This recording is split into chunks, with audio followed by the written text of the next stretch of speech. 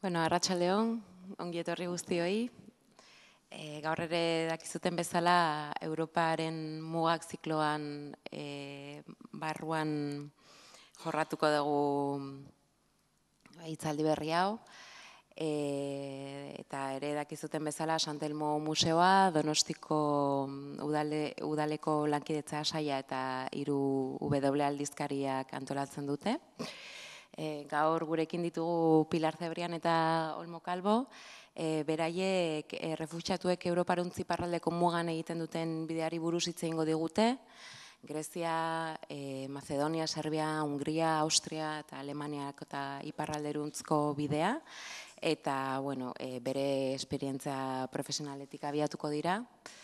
E, Beraien aurkezpena inbaino lehen, e, gustatuko litzaidak egoratzea, hau dela, laugarren itzaldia, zikloaren barruan, e, aurreko beste irurak badaude igotak Santelmoko webgunean, eta bueno, ba, e, on, hemen gurekin entzuteko aukera ez bat zenuten euki, ba, gombidatuko nizueke benetan entzutea oso interesgarriak izan dira e, Libia, Greziako uarteak eta Meliako eziari buruzkoak izan zirenak. E, eta bueno, eta ere gombidatu nahi dizuegu, egingo dan bosgarren e, itzaldira, e, azaroak ama bostean e, izango dana, Lampedusan gertatzen ari danari buruzkoa.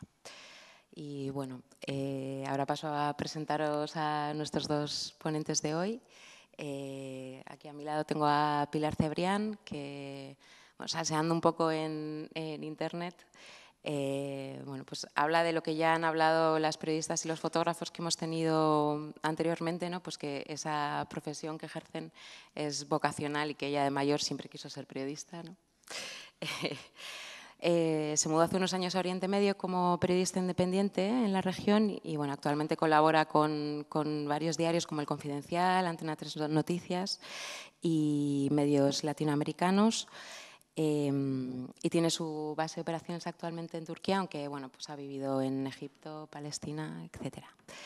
Eh, bueno, además de la actualidad política y social de los países de Oriente Medio, su trabajo se centra en los asuntos relacionados con el Islam político, el yihadismo, las insurgencias, la inmigración y los conflictos armados.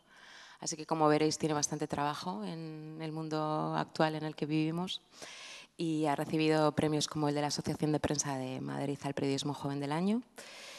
Eh, y Olmo Calvo es fotógrafo y forma parte de la fundación de dos proyectos muy interesantes como son Diagonal y la Cooperativa de Fotógrafos Sub de Buenos Aires, donde eh, trabajo como periodista desde Argentina y bueno, sus fotografías han sido publicadas tanto a nivel nacional como internacional en diferentes medios de comunicación y también actualmente trabaja como freelance publicando en El Mundo, El Diario, El Salto y otros muchos medios.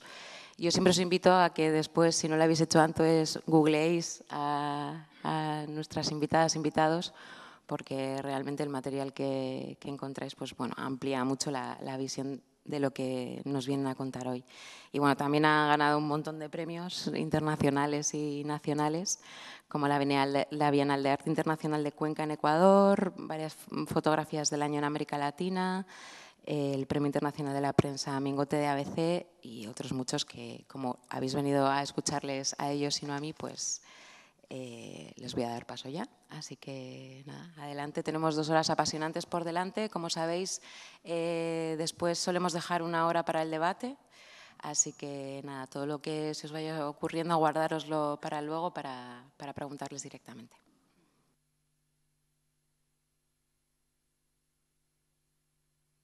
Ah, bueno, buenas tardes a todos. Eh, muchas gracias por haber venido. También me gustaría agradecer al Museo de San Telmo y también a, a 5W por habernos invitado.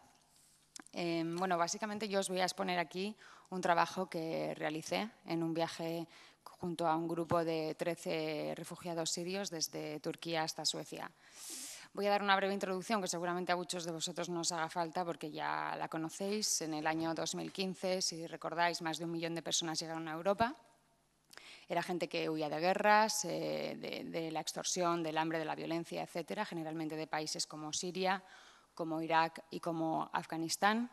y muchos de ellos eh, decidieron que era Europa, en el sitio donde ellos querían digamos, reconstruir sus vidas, o bien por la proximidad con sus países, o bien por el marco legal que ofrecía Europa. Ahora, dos años más tarde, yo pienso que mm, probablemente muchos de ellos tomaron una decisión equivocada.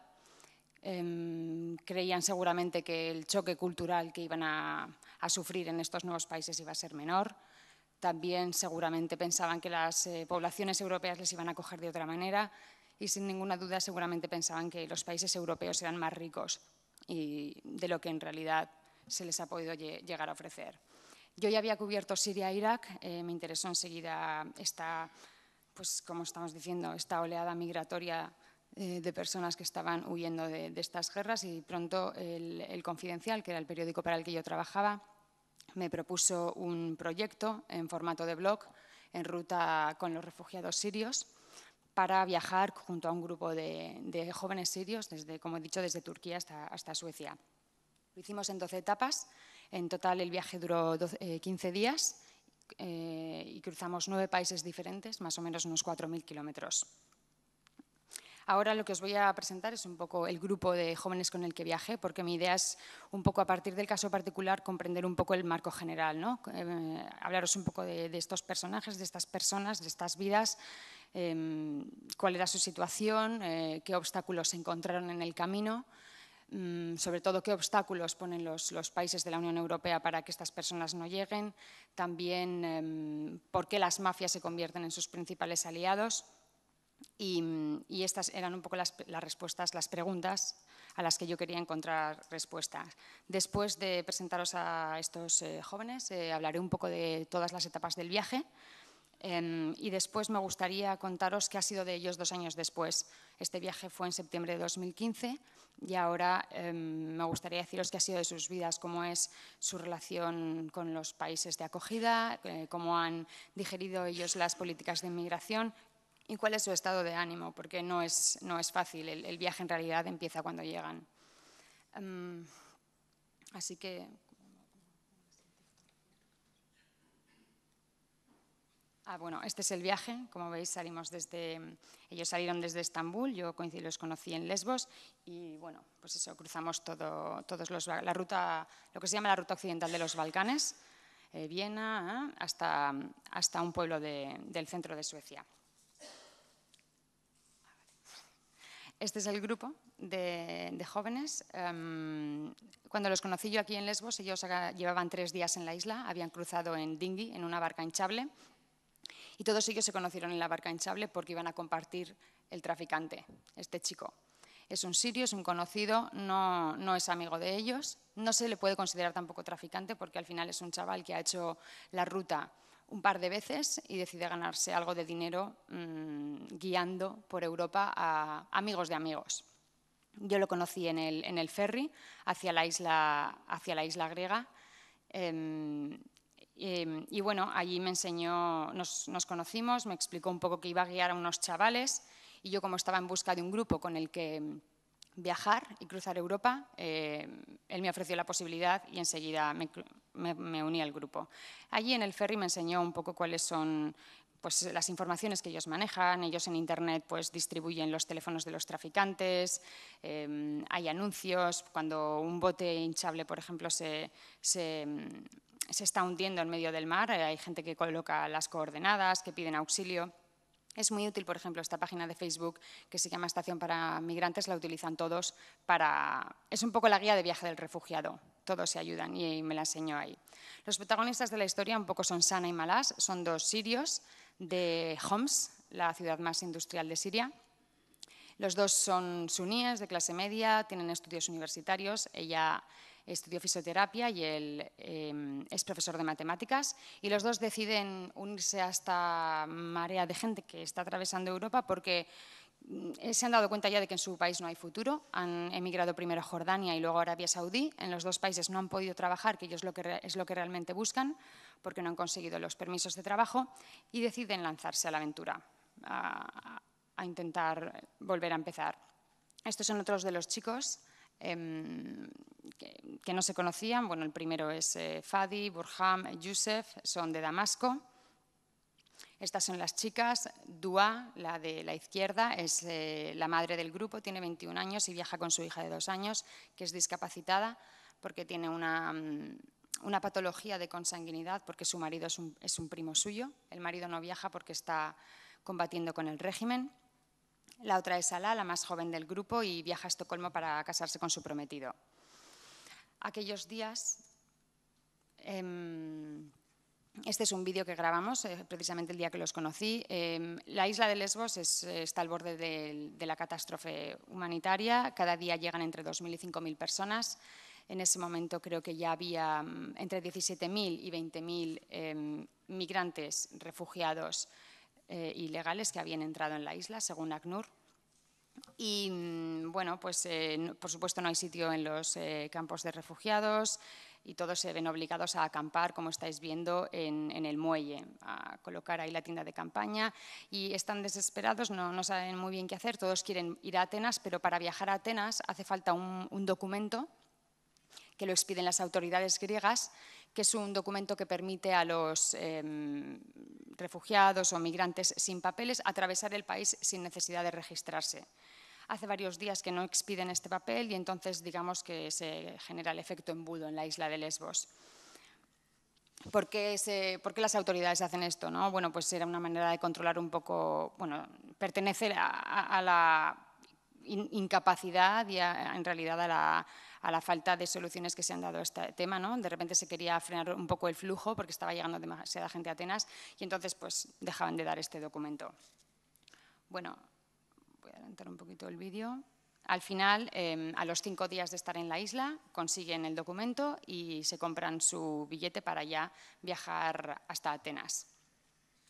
Bueno, las imágenes que se ven dentro de este ferry la verdad que son emocionantes porque muchos de ellos hace 10 días eh, o dos semanas que no consiguen sentarse sobre un asiento, ¿no? por ejemplo, porque pues, eh, o sea, es el primer asiento que toman después de haber iniciado el viaje, entonces todos caen rendidos. Aquí en estas imágenes están llegando al puerto del Pireo, que es también un momento emocionante porque por fin alcanzan la Europa continental y para ellos pues eso es una victoria.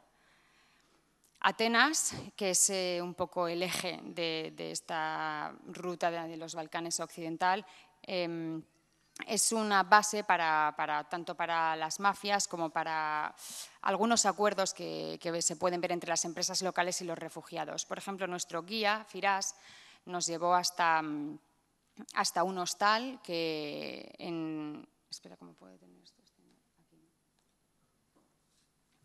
Eh, lo que quiero decir es, que en Atenas realmente ves em, cómo se está sacando partido y beneficio económico a esta crisis de los refugiados. ¿no? Eh, ves que hay muchos hoteles, por ejemplo, que contratan a, otros chavales refugiados para que sirvan de gancho a todos los que están de paso y les hacen ofertas especiales. Nosotros, por ejemplo, nos quedamos en un hostal em, por 11 euros la noche eh, para cuatro personas. Entonces, eso. Luego, al día siguiente, para subir ya hasta la frontera con Macedonia, en Idomeni, fuimos a una tetería de otro chico sirio, desde la que salían los autobuses, que eran compañías griegas, pero por precios un poco más elevados.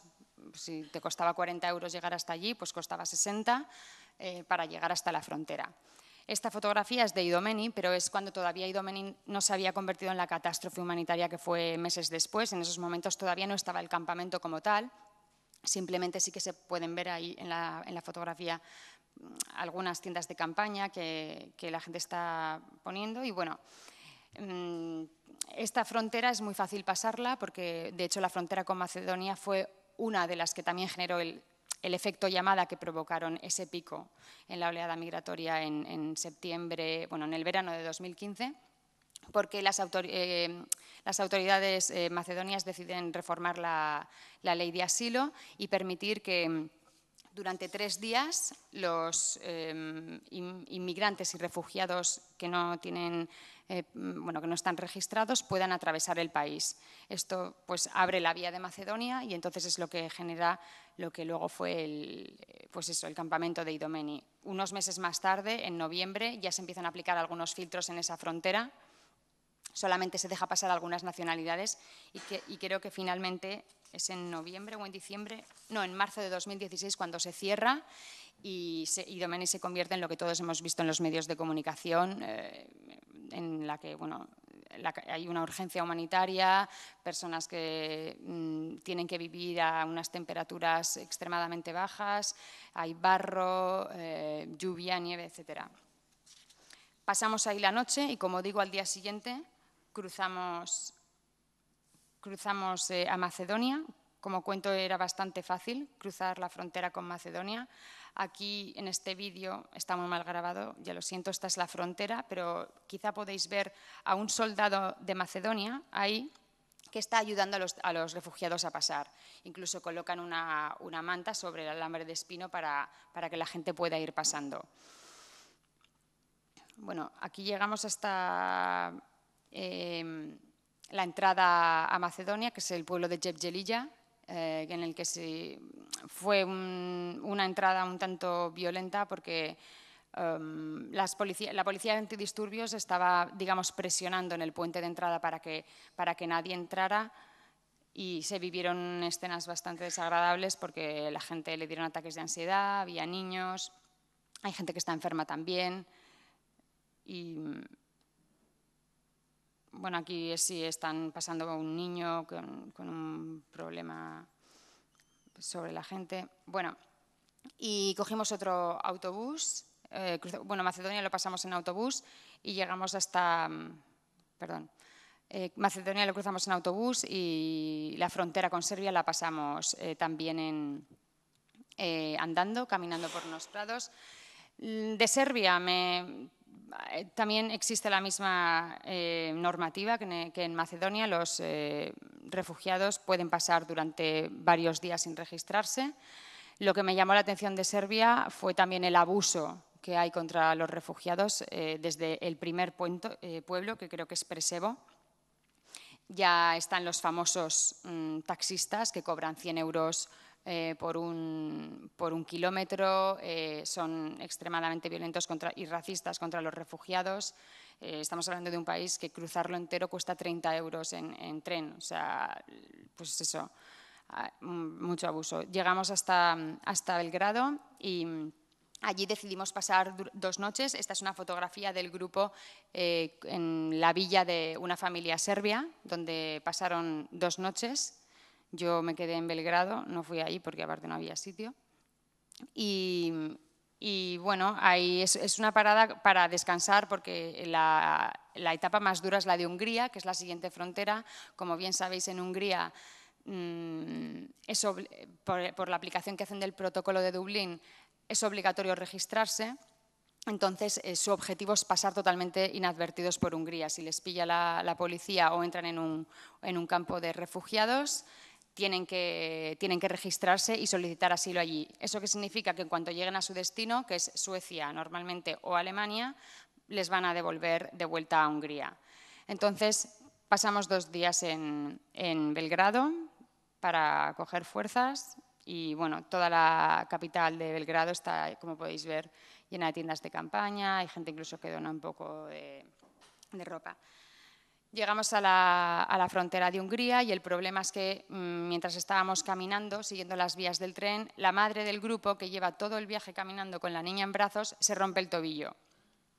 Entonces se empiezan a poner nerviosos porque mm, no saben cómo cargar con una... Tenemos una de las personas que está herida. Bueno, este es el, vídeo del grupo. Y bueno, y, entonces conseguimos cruzar la frontera y, se acerca, ella no puede más, no puede andar, y se acercan eh, una trabajadora humanitaria austriaca y le dice que tiene que ingresar rápidamente en el campo de, refugiados para que le vea un doctor. Entonces, cunde el pánico porque ellos no quieren entrar en el campo de refugiados porque les van a obligar a, todos a, a registrarse allí. Entonces deciden tomar otra vía, infiltrarse entre unos campos de maíz y finalmente mm, entramos en contacto con una mafia que están ahí escondidas entre los eh, caminos que saben que pasan los refugiados para ofrecerles básicamente eso. Eh, os vamos a conducir durante, os vamos a ayudar a atravesar el país sin que, sin que, sin que, se, sin que os vea la policía, sin que os vean los trabajadores sociales por una suma de dinero.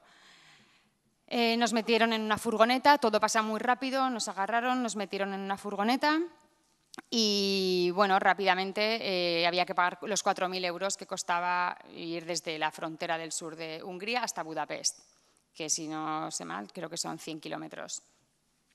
Entonces, bueno, empezamos así a sacar el dinero y, bueno, eh, fue un momento muy tenso porque realmente yo me di cuenta de que los chicos o sea, los que estaban conduciendo son, mafias, son mafias húngaras, son mafias que antes se dedicaban al tráfico de drogas, a la trata de blancas, al lavado de dinero y que ahora están traficando con refugiados. Entonces, cuando llegamos a Budapest, em, les obligaron a, pagar otros 4.000 euros más para, ya sabéis, pues eh, extorsión. Si queréis salir, ellos saben que las mafias al final son sus grandes aliados porque no tienen otra manera y, pueden pedir más dinero. Al final eh, entraron en puñetazos y consiguieron escapar. Eh, y bueno, y consiguieron llegar hasta Viena, que Viena ya es la entrada de la Europa amable, porque ya ni en Viena, ni en Alemania, ni en Dinamarca, como bien sabéis, eh, no hay una obligación de que se registren y en esos días había paso libre y podían moverse con libertad por el país. En Viena esperamos a que les enviaran los pasaportes desde Grecia, porque ellos en Grecia lo que hacen es eh, darle a lo que se denomina una especie de... Mm, mm, es como una especie de, oficina de seguros para refugiados. Es un refugiado que te guarda los pasaportes a cambio de una comisión y luego cuando llegas a Viena o al país eh, de destino te los reenvía. ¿Por qué no los quieren llevar consigo? Pues porque les da miedo, saben que la ruta de los Balcanes es dura, que puede que les coja la policía, que puede que... y entonces no quieren perderlos. ¿Por qué no quieren perder los pasaportes? Porque si entras sin pasaporte en el país de acogida, esto va a retrasar el proceso de asilo. Si no tienen pasaportes, van a, tardar tiempo en que les identifiquen, van a no tienen una manera de certificar que son sirios, que vienen de un país en guerra. Entonces, necesitan esos pasaportes, es, es el único documento que tienen. Entonces, como digo, una vez en Viena ya todo fue mucho más fácil. Aquí es el billete em, hacia Alemania, hacia Hamburgo. Em, aquí esto es cuando ya el grupo finalmente llegamos a Hamburgo de Hamburgo directamente a Copenhague y de Copenhague hasta Malmo, Suecia. Esto es nada más llegar a Suecia, directamente son reubicados a uno de los hoteles que la Agencia de Inmigración ha habilitado para los refugiados. estamos hablando de que en, 2015 162.000 personas solicitaron asilo en Suecia. Eh, triplica el, número de solicitudes de los años anteriores. Entonces aquí no había sitio y finalmente los enviaron a un pueblecito del centro de Suecia. Esta es Sana en Filipstad, el pueblo donde ha pasado un año mientras esperaba a que se tomara la decisión sobre su petición de asilo. Hasta, se ha pasado diez meses esperando, hasta los diez meses de solicitar el asilo no le contestaron. Mm, es un tiempo muy duro, es un tiempo además de asimilar mm, que verdaderamente estás cambiando de vida y sobre todo tienes pocas cosas que hacer porque no pueden trabajar mientras están esperando a que se tome la decisión y no pueden tampoco apuntarse a los programas de subvenciones. Entonces es un, es un limbo eh, bastante complicado. bueno, no sé si me estoy pasando un poco con el tiempo, ¿no? Diez minutos, vale. Em, bueno, ahora voy a comentar un poco qué ha sido de ellos. Como os he comentado, Sana em, solicitó el asilo en septiembre de 2015 cuando llegó y la, decisión se tomó, eh, se la comunicaron en agosto de 2016, o sea, casi un año después. Eh, la cuestión es que, mm, como está pasando en muchos países de Europa, la masiva llegada de tantos refugiados eh, está teniendo consecuencias legales. Por ejemplo, en Suecia, el eh, partido, así el partido Demócrata Socialista, que es un partido anti-inmigración, em, ha tenido un aumento de diputados en el Parlamento y entonces han conseguido cambiar la, política de asilo. Suecia era antes uno de los principales objetivos de los refugiados, aparte de porque tiene una, política muy generosa de asilo, porque ofrecían residencia permanente. No había límite. y a los cinco años podía solicitar la nacionalidad. Por eso muchos de ellos. Entonces, este nuevo partido lo que ha conseguido es cambiar la ley y hacer que la residencia ahora tenga un límite. Puede ser desde 13 meses hasta dos años. Eso quiere decir que si a los 13 meses la guerra en tu país ha terminado, te tienes que volver. Si no, puedes solicitar una prórroga. A Sana le dieron el de 13 meses. Los 13 meses, meses, han pasado, la guerra de Siria no ha terminado, ha pedido una prórroga y se la han, se la han concedido durante dos años más. Hablé con ella para, no sé, ir un poco a, las impresiones personales. Hablé con ella el viernes y mm, ella no está bien. O sea, el principal problema que ellos tienen es el choque cultural. Em, para ellos, de repente estar en un país, no solamente el clima, es también em, los códigos sociales. En, los países árabes ya sabéis que en la vida en la calle eh, se, habla, em, se hace mucha vida social y en Suecia eso es diferente. Entonces, les está costando. Eh, aún así, mm, tiene cubierto el alojamiento, la comida, em, tiene también acceso, por supuesto, a los servicios sanitarios y le pagan una, pequeña paga al mes.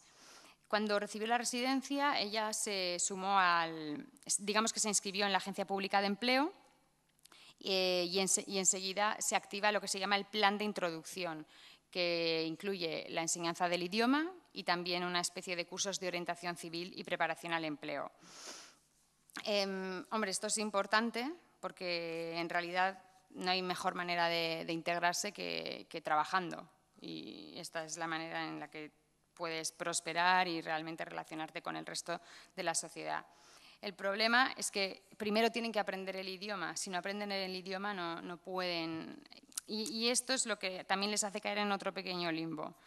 Entonces, bueno, ellos se quejan sobre todo de que, de que dicen que, pues eso, que, es difícil, que hay filtros para todo, que ellos lo que en realidad, gente que va con estudios universitarios, lo que quieren es llegar y ponerse a trabajar. Y no entienden por qué tienen que aprender sueco. Por ejemplo, ella ahora se ha prometido con un chico de Siria y dice, y el chico de Siria es piloto y dice, ¿yo por qué tengo que aprender sueco si yo lo que, lo que quiero es manejar aviones? Y, yo le intentaba explicar, pero es que tenéis que entender que ellos lo que quieren es que vosotros os integréis en el, en el país, porque en realidad, si no, no, esto no va a funcionar. Y él, decía, pero si es que nosotros no queremos, él me decía, yo no me quiero integrar porque ellos tampoco quieren hablar conmigo. O sea, ellos se quejan de que, de que la gente en Suecia no quiere, en realidad, em, hablar con ellos, no quieren incluirlos en sus vidas. O sea, hay un choque cultural y esto es lo que hace que al final, pues, sea difícil a veces esa convivencia. Em, esto lo he ya. Y, como decía, también las decisiones que están tomando estos países de poner límites a, los permisos de, de, asilo, como está pasando en Suecia, es otro obstáculo para la integración. Porque, por ejemplo, yo el otro día también hablé con el de la Agencia Pública de Empleo y me decía, nuestro plan de introducción del que hablaba antes es de dos años. Si están dando permisos de residencia de 13 meses, no podemos trabajar, no tenemos, no tenemos un objetivo claro. Estas personas se desmotivan porque saben que en 13 meses puede que no consigan el permiso de empleo y los, y los echen. Entonces, bueno, el Gobierno ha, ofrecido una especie de, solución que se llama la Fast Track, la vía rápida, que es un sistema tripartito en el que pues, se conjuga, o sea, trabajan juntos la agencia de empleo, los sindicatos y las universidades. Por ejemplo, su hermano Malás está a la vez aprendiendo sueco, estudiando en la Universidad de Estocolmo el vocabulario específico para ser profesor de matemáticas y todos los cursos para homologar sus títulos y lo hacen todo a la vez para que cuanto antes se puedan integrar en el mercado laboral, que es lo que ellos en realidad quieren.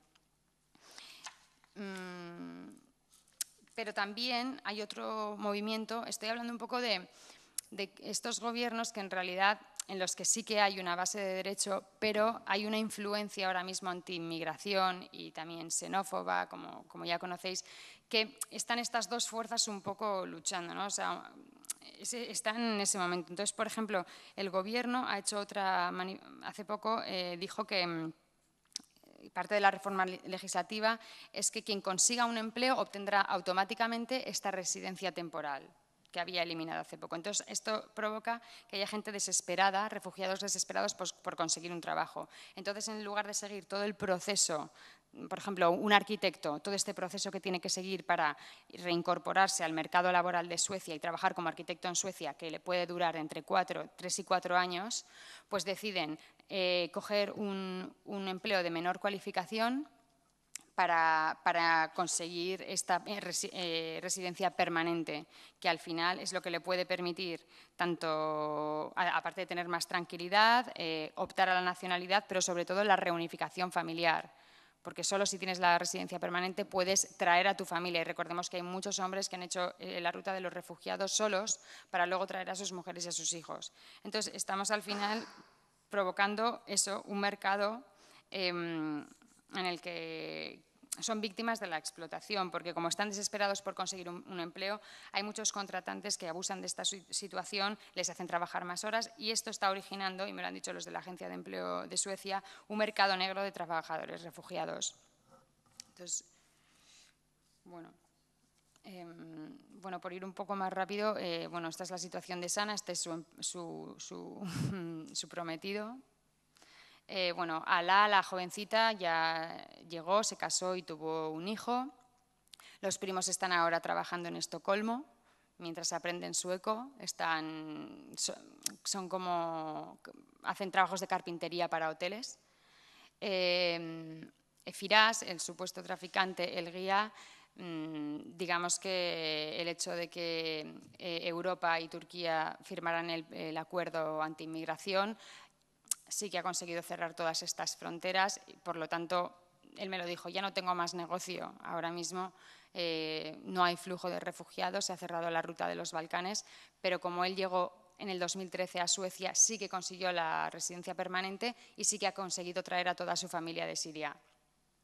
Y luego este es Jihad, eh, otro de los jóvenes, em, que es yo creo que el que más se ha integrado. Él se quedó en Alemania, y está estudiando alemán, está todavía en este proceso de aprender el idioma y creo que en el año 2018 va a conseguir ya el nivel suficiente para empezar a estudiar un máster de, ingeniería mecánica, que es su, su especialidad.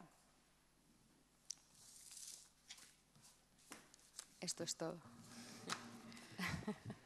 Bueno, no es todo porque seguro que luego tenemos todas y todos muchas cosas que preguntarte también sobre los temas legales que has así como apuntado, ¿no? de, de, en qué marco nos movemos y cómo cambia. Y nada, pues Olmo, cuando quieras.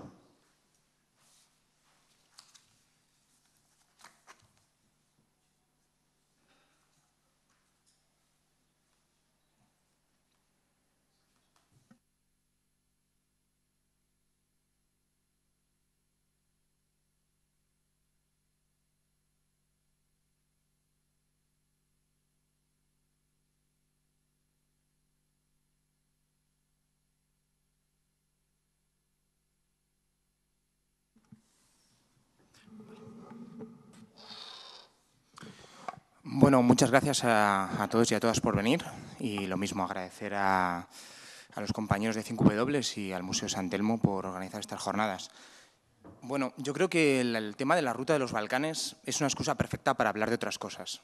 Es una ruta que estuvo abierta durante un periodo de tiempo muy concreto, eh, del que hemos podido ver mucho material periodístico, en televisión, leído en periódicos y que la compañera además lo acaba de explicar todo muy bien. ¿no? la ruta de, una, de unas personas concretas que, bueno, eh, circularon por ahí y que luego bueno, pudieron realizar su vida en diferentes países europeos. Yo creo que en este momento en el que casi todas las miradas están puestas em, en el proceso, ¿no? tenía que salir el tema, el proceso de Cataluña. En este momento en el que grupos de extrema derecha están tomando las calles de nuestras ciudades, y bueno, se está imponiendo una estrategia de miedo y una estrategia de confrontación en la ciudadanía. Me parece que es un, tema, eh, un momento perfecto para hablar del tema de los refugiados. Porque los refugiados, al fin y al cabo, no es un hecho aislado, no surgen de la nada, no es algo que de repente aparezca. ¿no? La ruta de los Balcanes no es que se abriera un día porque sí. Realmente los refugiados son simplemente una consecuencia y tenemos que ser conscientes de eso.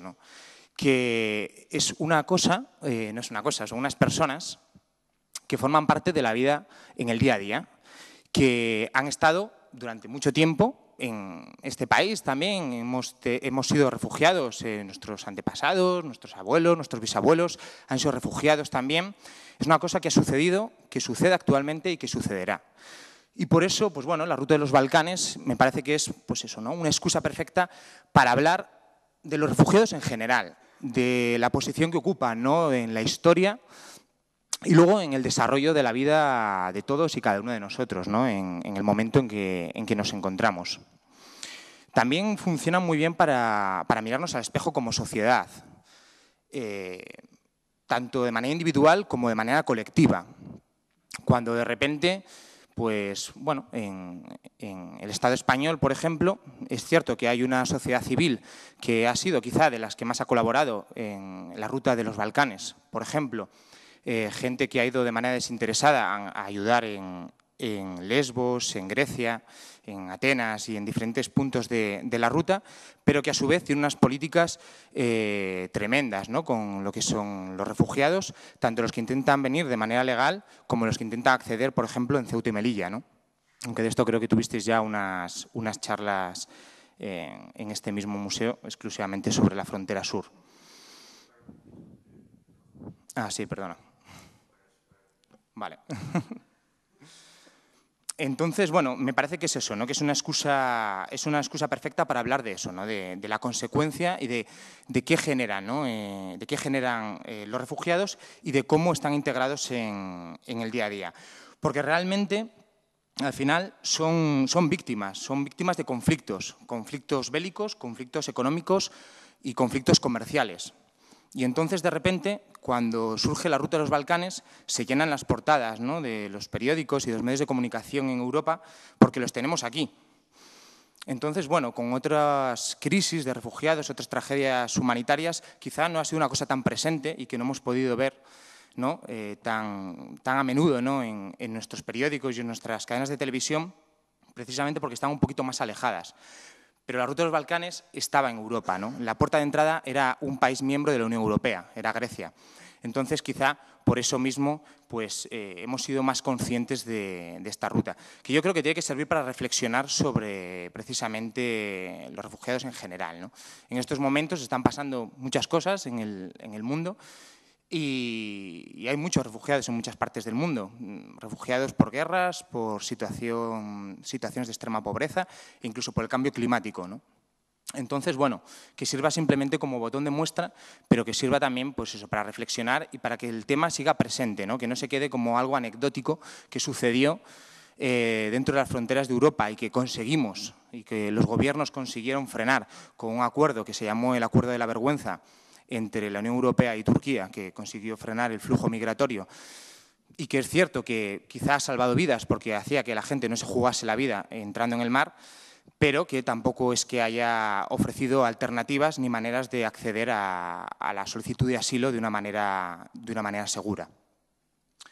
Entonces, bueno, dicho todo esto, eh, yo creo que lo que os puedo ofrecer es mi experiencia mi experiencia en la ruta de los Balcanes. Por supuesto que vamos a ver fotos de la ruta de los Balcanes, desde Lesbos hasta Hungría, que es eh, la ruta que yo hice eh, durante, bueno, en total igual tres meses, entre 2015 y 2016.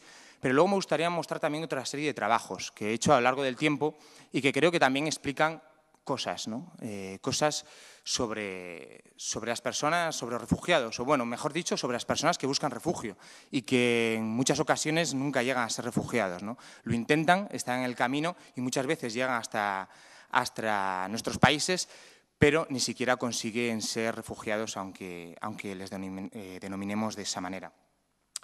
Entonces, bueno, una primera diapositiva que tengo aquí, para que no se nos olvide, son refugiados españoles, ¿no? En 1939, en Francia. Tuvieron que huir, tuvieron que huir, aquí hay gente mucho mayor que yo, saben perfectamente de qué, y, lo que lo provocó. Entonces, bueno, es eh, lo mismo. Antes que esta fotografía, hubo gente que tuvo que huir de conflictos y, buscar un lugar donde, donde guarecerse, donde poder construir su vida, y después de esta fotografía, por supuesto, que ha habido muchísimas ocasiones en las que se ha vuelto a repetir. ¿no?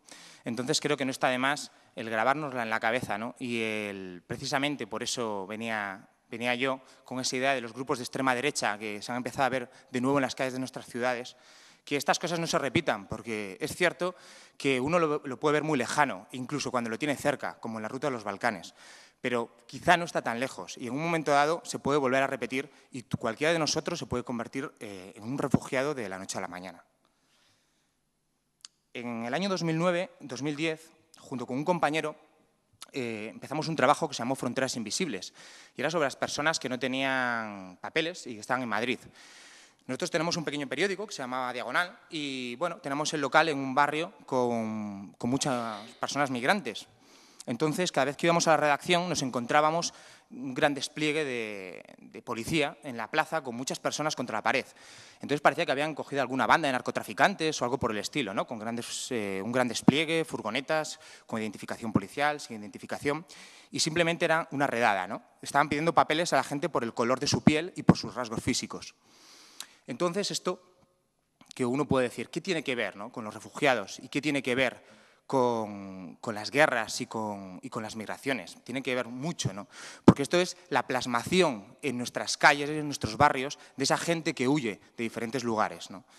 La mayoría de la gente que paraban era de procedencia eh, subsahariana, ¿no? que bien podían huir de un conflicto o simplemente de, la extrema pobreza o de una situación de precariedad buscando una vida mejor. Entonces, de repente, nos encontramos con la plasmación esa gente tuvo que recorrer desiertos y jugarse la vida cruzando los mares para llegar a nuestras ciudades, para que en un momento dado, en vez de recibirles como gente que se está intentando buscar la vida de una manera mejor, se recibiera como delincuentes y les pararan simplemente por los rasgos físicos, que es algo que además prohíbe la Constitución española, el parar a la gente y el identificarla por los rasgos, eh, por los rasgos físicos. Entonces, durante más de un año estuvimos haciendo un trabajo de seguimiento y íbamos a todos lados con la cámara de fotos, porque... Sí. A ver si lo consigo. ¿eh? Ahí está. Vale. Eh, durante más de un año estuvimos precisamente haciendo un seguimiento de esto. Y el detonante fue unas palabras del, en su momento, ministro del Interior, Alfredo Pérez Rubalcaba, que decía que estas políticas no existían en el Estado español y que eran simplemente controles antiterroristas y controles eh, de alcoholemia, algo que era completamente mentira. Y mi compañero y yo, junto con los eh, otros compañeros del periódico, pues bueno, nos pusimos eh, con la labor de demostrar y poner pruebas sobre la mesa de que era una práctica cotidiana y que además se hacía de manera sistemática. Luego, poco después, surgieron diferentes documentos, que incluso había cupos, que había comisarías que tenían, eh, una, tenían una serie de cupos que llenar durante todas las semanas sobre la gente que tenían que detener. Entonces, bueno, es cierto que en su momento tuvo bastante eco, sobre todo gracias a diferentes organizaciones de derechos humanos y de, de migrantes autoorganizados que denunciaron estas prácticas. Entonces, bueno, me parece que es un trabajo muy interesante porque precisamente lleva a las calles de nuestras ciudades pues esa gente que huye, ¿no? que muchas veces uno se pregunta, ¿qué ha pasado? No? ¿Qué pasa con esa gente que viene en lancha? ¿Qué pasa con esa gente que vemos en botes de goma? Pues bueno, pueden encontrar trabajo, como ha expuesto Pilar, ¿no? con, los casos en Suecia, o puede que bueno, estén intentando subsistir en nuestras ciudades y que luego además se vean sometidos al control desproporcionado de... Ah, perdona al, control desproporcionado de, los estados. Bueno, voy a pasar un poco rápido porque tengo varios trabajos que mostrar. Entonces, bueno, esto era una práctica, lo llamamos fronteras invisibles porque realmente eran fronteras. Eh, uno podía ir a la parada de metro de su barrio o podía ir a una plaza y encontrarse con unos grandes controles que solamente paraban a la gente pues, que tenía rasgos ¿no? de, que podían identificar que tenían otra procedencia. Entonces, ¿qué sucede? Que eran unas fronteras que aparecían y desaparecían y que además solamente afectaban a las personas que afectaban, porque tú podías cruzar perfectamente y si no te fijabas, incluso podías llegar a pensar, bueno, pues algo habrá pasado, ¿no? Habrán cogido un carterista o algo habrá sucedido. Y no, le estaban parando porque tenía unos rasgos diferentes. Entonces, bueno, por eso lo llamamos fronteras invisibles, ¿no? porque hay unas fronteras que existían solamente para algunos, que aparecían y desaparecían, y bueno, se daban eso en los interiores del metro, en las plazas, en las calles, la gente cuando bajaba a comprar el pan incluso.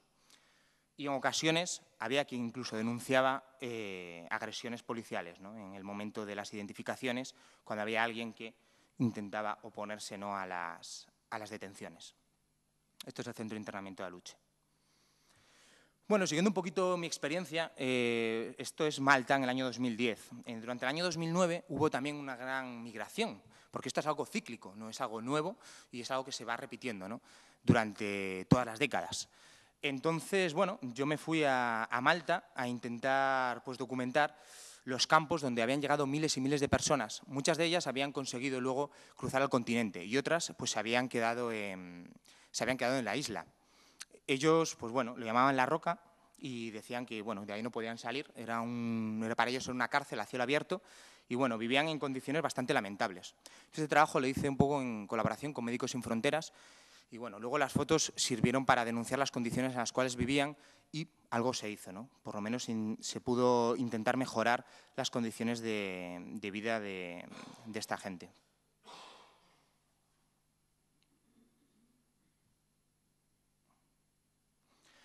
Había diferentes campos, eh, unos estaban compuestos pues, bueno, pues, por grandes contenedores eh, donde dormían 12, 13 personas en literas y lo único que hacían era subsistir realmente porque tampoco les dejaban otra opción. Les daban de comer y les dejaban dormir y vivir, pero no tenían posibilidad de moverse, no tenían posibilidad de trabajar, entonces lo único que hacían era ver pasar los días, que es algo que yo creo que es nocivo ¿no? para cualquiera.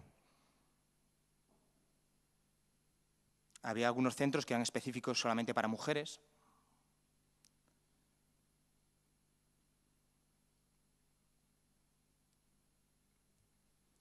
Bueno, esto es Atenas, en el año 2011. En el año 2011 yo creo que se estrenó una película que era Los 300, que era de, pues de la antigua Grecia, y pues hubo un grupo de refugiados del norte de África que llegaron a, a Atenas y se hicieron llamar los 300. No sé si eran 300 en concreto, quizá eran unos pocos más o unos pocos menos. Ellos lo hicieron un poco por el tema de la película y se popularizó. Estaban en huelga de hambre porque en un momento dado les querían expulsar y ellos eh, lo que reivindicaban era precisamente que les dejaran quedarse. Algunos se cosieron la boca y estuvieron durante bastante tiempo, durante bastantes días en huelga de hambre. Al final consiguieron la regularización.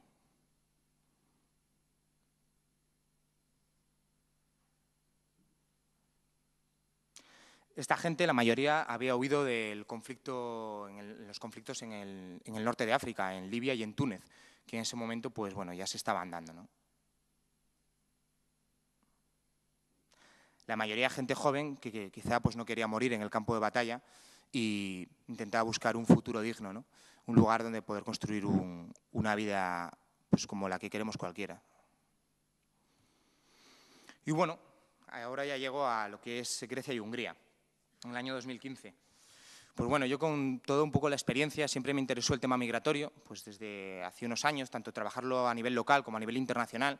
Yo lo trabajaba pues bueno, donde podía y cuando podía. Si era en Madrid y me tocaba en Madrid, pues intentaba hacer construir el proyecto este de Fronteras Invisibles con los compañeros y si podía viajar fuera para contar otras realidades cercanas y lejanas a la vez, pues también lo hacía.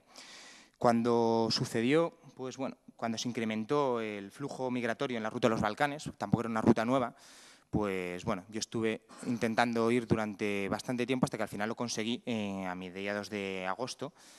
Eh, conseguí escaparme del trabajo y ir para allá, a contar un poco en imágenes pues lo que, lo que sucedía. Al principio íbamos a ir a Lesbos, que era el punto de llegada, y justo en Atenas vimos las noticias que había complicaciones en la frontera entre Macedonia y, y Grecia, en Idomeni, y entonces, bueno, dejamos pasar el avión y nos dirigimos a, Idomeni. Entonces, por eso yo el relato, pues lo empiezo, lo empiezo aquí en, Idomeni. En ese momento estaban las rutas abiertas y, como decía antes Pilar, pasaban miles de personas por día. Entonces la gente caminaba más o menos libre y, bueno, para ellos era como una especie de triunfo ya haber llegado a Grecia, ¿no? Entonces, bueno, caminaban más o menos contentos la mayoría de la gente. Esto es eh, Belgrado. Esto es Belgrado, una mañana en el parque Bristol, donde se quedaba mucha gente a dormir para luego continuar su camino a, Hungría.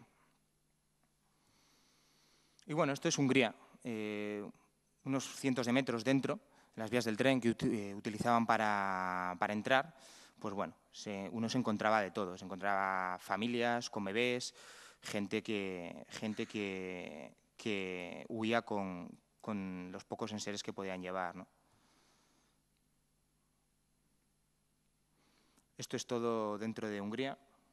Esta familia, pues lo mismo que los protagonistas de, la historia de, Pilar, pues también lo mismo, se fueron por los caminos y por las plantaciones intentando esquivar a la policía y buscando pues un, taxi ilegal que les llevara hasta la frontera con Austria.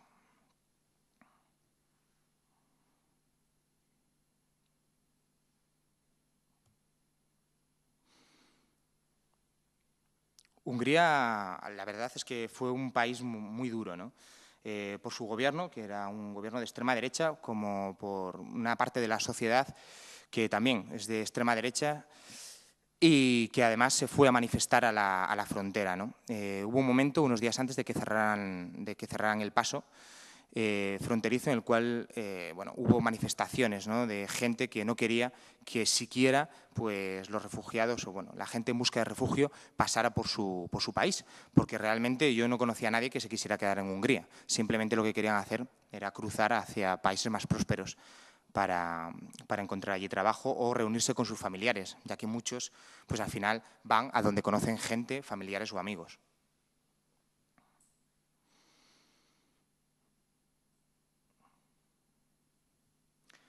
Esto es en, septiembre del, 2016, que es cuando definitivamente se, cerró la frontera de Hungría. Usaron un vagón gigante de, metal relleno de concertinas, que posiblemente fueran españolas, porque España es uno de, los países que, tiene una industria más floreciente de, concertinas. Y la verdad es que era una imagen de otra época. ¿no? Ver a los soldados con un vagón de hierro gigantesco con una pared de concertinas cerrando la frontera y al otro lado la gente que se quedaba eh, mirando ¿no? Eh, sin, poder pasar, la verdad es que, es que sorprendía. ¿no? Cuando no sé, en los últimos años se ha apostado por la construcción de, de, lo común, o por lo menos, quizá no de una manera perfecta, pero, pero sí que se ha atendido a ello y, y al acabar con las fronteras, pues de repente ver cómo surgían estos muros ya no para evitar que pasaran ejércitos, sino para evitar que pasaran gentes que buscaban refugio, la verdad es que era bastante sorprendente. Y bueno, esto también se dieron episodios bastante violentos. Mm, esto es el día después de que se cerrara la frontera. Se quedaron miles de personas que intentaran pasar eh, y continuar el camino. Y bueno, los policías antidisturbios de Hungría pues se emplearon eh, a fondo ¿no? con con botes de humo, gas pimienta e incluso porras extensibles de acero que causaron muchos heridos en los refugiados que, intentaban cruzar.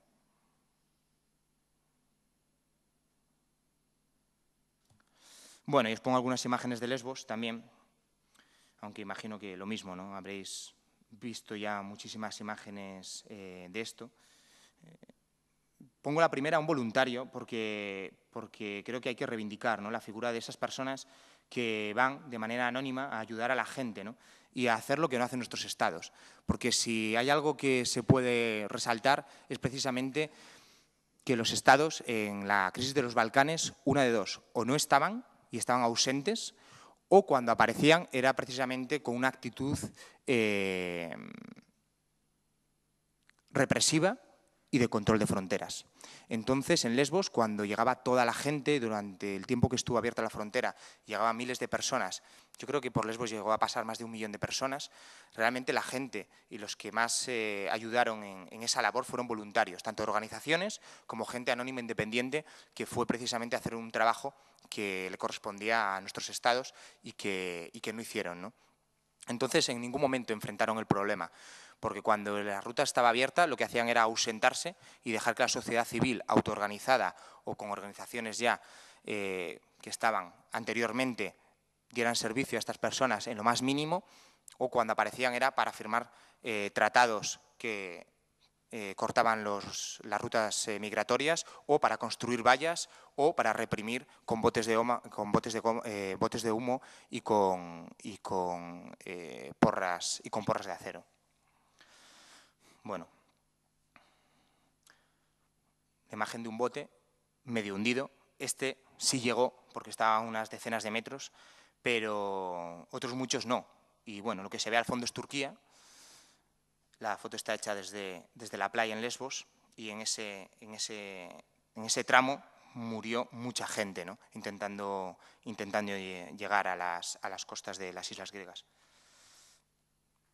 una vez, una vez más la figura del voluntario, ¿no? en este caso la voluntaria, pues bueno, arropando ¿no? a, un niño recién llegado en, enero. Esta foto es del 2 de enero del 2016 con el agua congelada y bueno, gracias a que estaba esa figura y esa gente ¿no?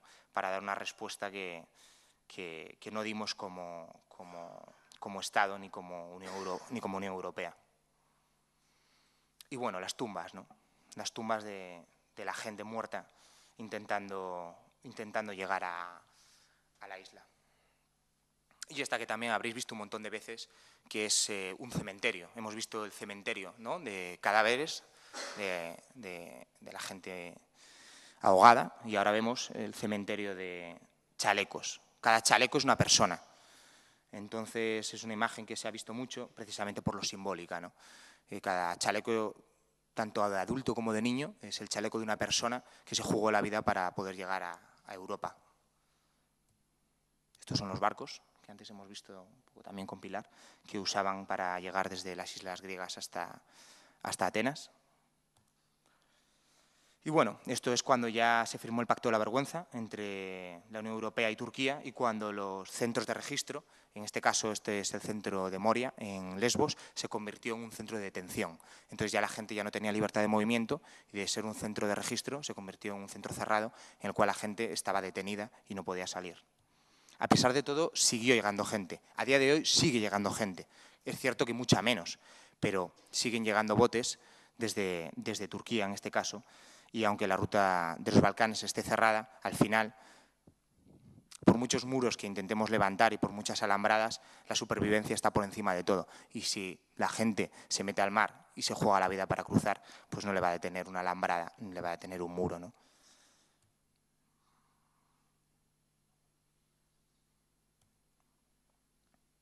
Estos son todo imágenes ya cuando, de cuando se firmó este pacto, que la gente seguía, seguía llegando. Estos son menores, menores no acompañados, que también había muchos, de 16, 17 años, que emprendían el camino solos y a veces se juntaban a familias y bueno, a veces tenían pues, mala suerte y acababan pues, en centros de detención como este. Y lo que comentaba la compañera, Idomeni en el año 2016, pues bueno, se convirtió en lo que todos también vimos. Eh, se llegaron a juntar miles y miles de personas cuando Macedonia cerró la frontera. Yo creo que, bueno, es quizá especular un poco, ¿no? pero no creo que fuera una decisión solamente suya. Imagino que tendría también asesoramiento, como poco, ¿no? de, Europa ¿no? para que ese, ese flujo eh, se cortase y entonces allí pues bueno, se creó un campo improvisado eh, de miles y miles de personas que bueno, al final sobrevivían un poco de la misma manera, ¿no? gracias a las organizaciones no gubernamentales y a los voluntarios que, hacían, que hacían una labor fundamental. Imágenes de la cotidianidad, de la frontera cerrada, que al final tenían que abrir todos los días para que pasaran los trenes, porque las mercancías sí que podían pasar, pero no las personas. Y este bueno, es una panorámica de la, de la valla que construyeron entre Macedonia y, y, Grecia.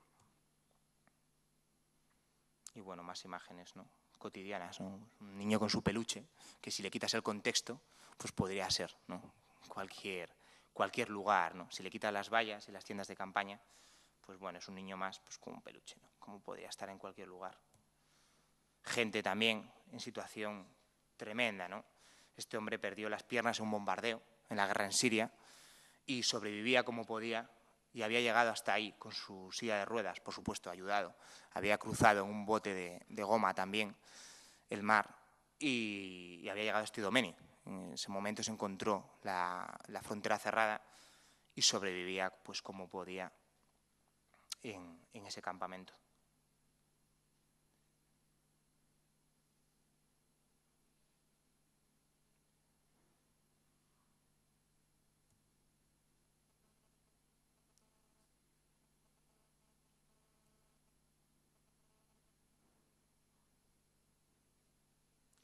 Y bueno, los niños son niños siempre, ¿no? Entonces, incluso en las situaciones más duras, pues bueno, también está bueno mostrar imágenes ¿no? de, esos instantes en los que, pues yo qué sé, también pues,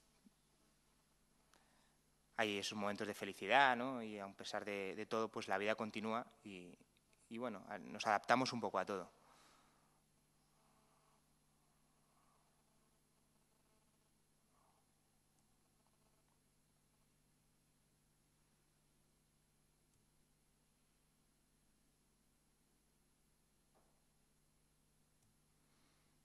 Y algo que se repite siempre, ¿no? Las colas y el barro, ¿no? Al final, vayas donde vayas, al final siempre, siempre es un poco lo mismo, ¿no? En Idomeni o en cualquier otro campo de refugiados que haya podido haber antes o después.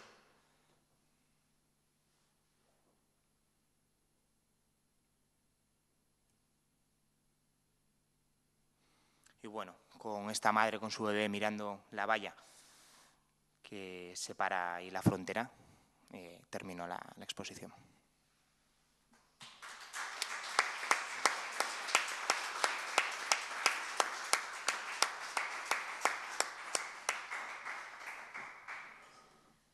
Bueno, como siempre en estas charlas nos dejáis con el corazón un poco en un puño y supongo que mucha gente del público tendrá ahora muchas cosas que preguntaros o muchas reflexiones que hacer.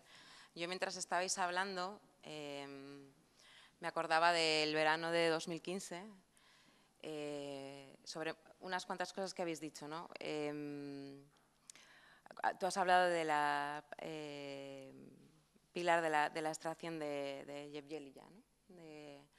Em, yo he trabajado 20 años con, migrantes. Eh, como tú has dicho, Elmo, desafortunadamente en España somos los campeones y, los primeros que comenzamos en Europa con toda esta estrategia anti-inmigración y de saltarnos las legislaciones internacionales eh, y europeas. Eh, sin ningún tipo de problema. Em, entonces yo cuando, cuando, veía las primeras imágenes de, la crisis de políticas migratorias de Europa, ¿no? la crisis de, refugiados, ¿no? a mí siempre me gusta mucho hacer hincapié en esto, yo me preguntaba a mí misma, ¿por qué me, me, mueve tanto esto? ¿no? O sea, ¿por qué habiendo trabajado con tantas personas refugiadas, con, en tantos contextos, eh, esto me revuelve tanto? ¿no? Y una amiga que estaba cubriendo en ese verano, como muchos de vosotros, eh, pues e, esa, esa ruta, esas personas que se movían, me mandó un vídeo.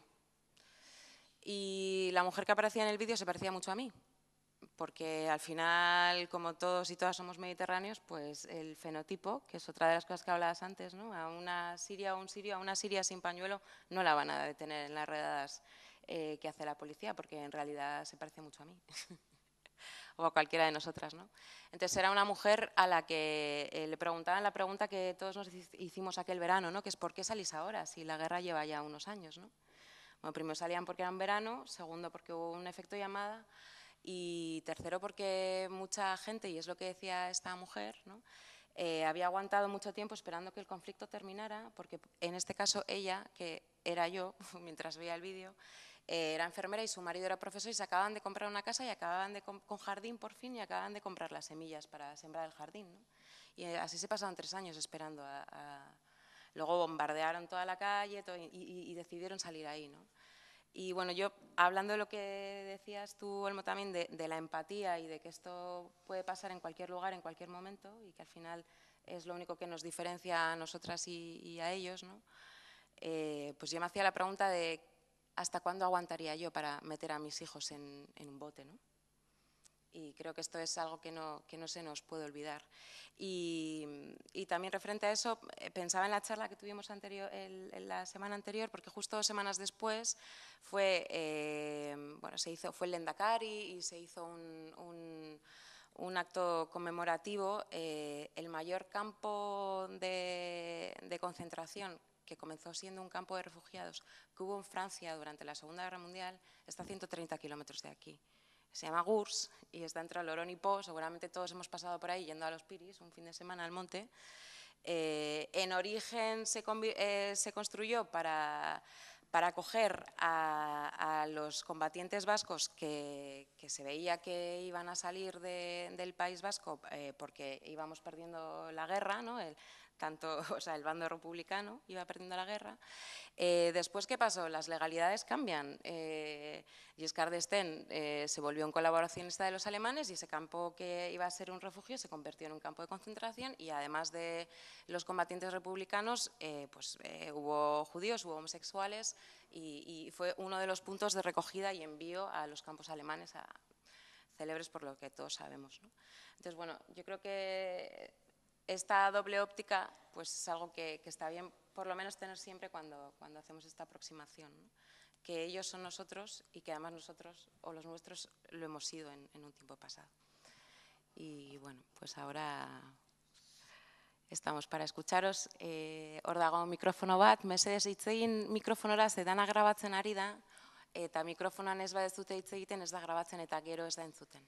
Así que eskatu hitza eta aurrera. Zuen txanda.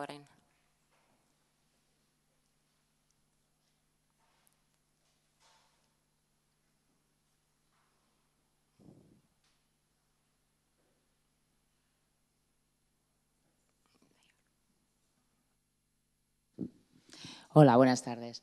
Bueno, primero agradecer que estéis aquí. Para mí, por lo menos, es una satisfacción poderos bueno, tener así de cerca. Os sigo en las redes desde hace mucho tiempo, a vosotros y a muchos compañeros, y para mí es una gran alegría poder estar en mi pueblo, pues bueno, tan cerca vuestro.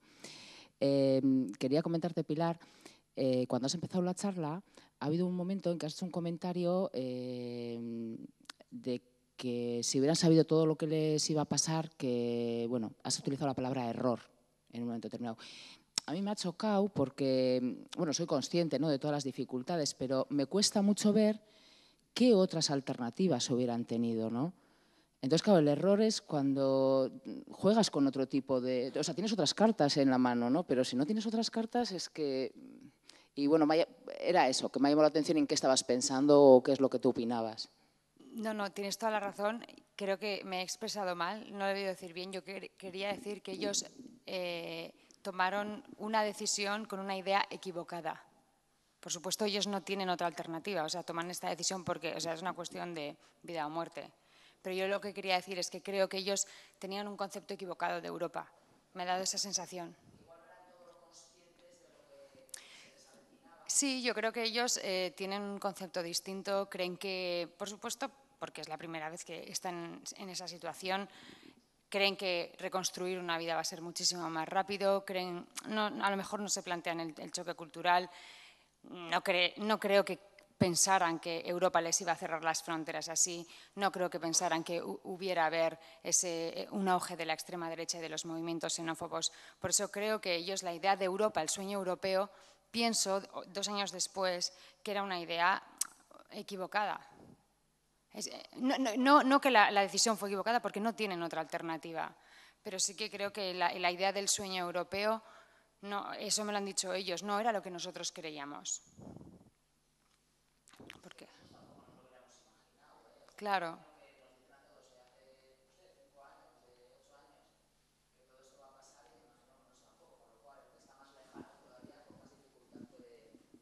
Sí, sí, sí. Totalmente. Sí, eso es, eso es lo que quería plantear.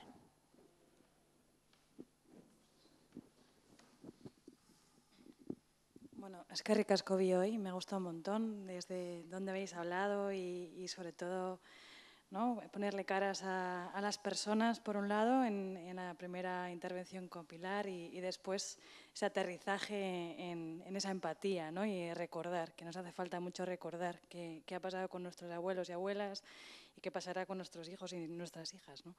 Pero bueno, eh, retomando un poco lo que ha comentado la compañera, em, y sobre todo intentando volver a traer que esto no es algo nuevo, porque se ha comentado que no es nada nuevo, a mí me complica mucho el escuchar crisis, eh, la crisis, ¿no es, yo no creo que sea una crisis. O sea, es una crisis porque ahora están aquí y porque hay un montón y porque vienen de alguna manera, estamos identificando ¿no? que, que, vienen del mismo lugar un montón de personas. Pero si estuvieran llegando a Jordania o estuvieran llegando a otro lugar no sería una crisis, ¿no? No sé. Lo quiero, quiero decir porque a mí a veces ciertas palabras me dejan inmóvil. ¿no? Las palabras como crisis o desastre o cosas así no, no, no me dejan pensar más allá en qué capacidad de agencia tengo yo para cambiar ese tipo de cosas. Entonces yo creo que si tenemos que hablar de crisis, podríamos hablar de una crisis civilizatoria, pero no de una crisis eh, de migrantes. No sé. ¿Qué pensáis sobre eso?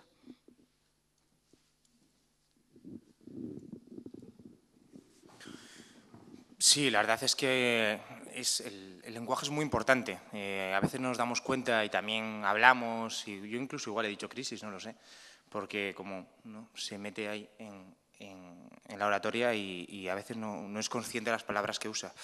Pero es cierto que si es una crisis, quizá es una crisis de valores, ¿no? Es una crisis de derecho, es una crisis de los derechos humanos, ¿no? Es pues una crisis de la sociedad o de las sociedades en general, hacia dónde vamos y, y por dónde vamos. Pero vamos, sí estoy completamente de acuerdo. A mí también es una palabra que como que te lo aleja un poco, ¿no? Sobre todo como que también uno tiende a relacionar crisis con algo económico, ¿no? Entonces me parece que juntar ¿no? las tragedias personales y los dramas que, se están dando con, unas palabras que habitualmente se usan para, hablar de economía, sí que es cierto que, aunque esté íntimamente ligado eh, el tema económico con, con, todo lo que está sucediendo, pero, pero vamos, toda la razón. Que si hablamos de crisis, en realidad es la crisis de la vida de estas personas. Estas personas sí que están sufriendo una crisis. Pero el, tema de lo de la crisis de los refugiados yo creo que es un término que no sé si culpar a, nosotros, a los medios, no sé quién ha bautizado en realidad este problema o, este, este fenómeno que estamos sufriendo como la crisis de los refugiados. Supongo que a lo mejor viene más desde arriba porque bueno, plantea un, un hay que, tomar acciones, hay que buscar soluciones, hay que, hacer política y quizá por eso pues los de arriba la han bautizado como la crisis de los refugiados.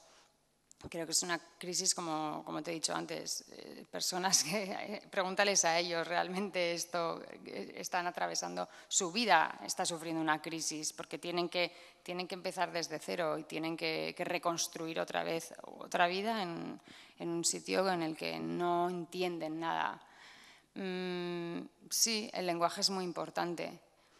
No sé quién, quién, ha llamado esto la crisis de los refugiados, pero bueno, estamos de acuerdo en que, en que no es una crisis. Y si, y si, hay una crisis, la crisis es la raíz del problema, que son pues eso, las guerras, los conflictos, y esos son los problemas que yo siempre he pensado que es donde se debería encontrar la solución, y no tanto en las políticas, pues eso, que si las cerrar fronteras, abrir fronteras, creo que habría que hacer políticas más, menos cortoplacistas, eh, más pro derechos humanos, de establecer la paz, la paz es seguridad y al final ahí está la red del problema. Por ejemplo, bueno, ya me voy un poco del tema, pero hay muy pocos líderes políticos europeos que estén yendo a la raíz del problema y que estén pensando en mm, cómo solucionamos las guerras, cómo, cómo, cómo, porque mientras haya guerras va a haber refugiados. Pero sí que Angela Merkel propuso hace tiempo ya un plan Marshall para África, en el que, bueno, quería antes hablar de ello, pero no lo he dicho, en el que sí que eh, lo que intenta es em, aumentar, bueno, por supuesto, la ayuda al desarrollo, también potenciar acuerdos estratégicos con el compromiso de que los dirigentes combatan la corrupción, el clientelismo de las mafias y que los beneficios se reinviertan en proyectos destinados a la población local. Yo creo que las, crisis están en esos países que generan refugiados y creo que los, políticos europeos también deberían mirar un poco hacia ahí y dejar de hacer pues, estos, acuerdos, estos acuerdos multimillonarios con países que están generando refugiados, todo ese tipo de políticas más por de los derechos humanos y la paz, solucionarían parte del problema, yo creo.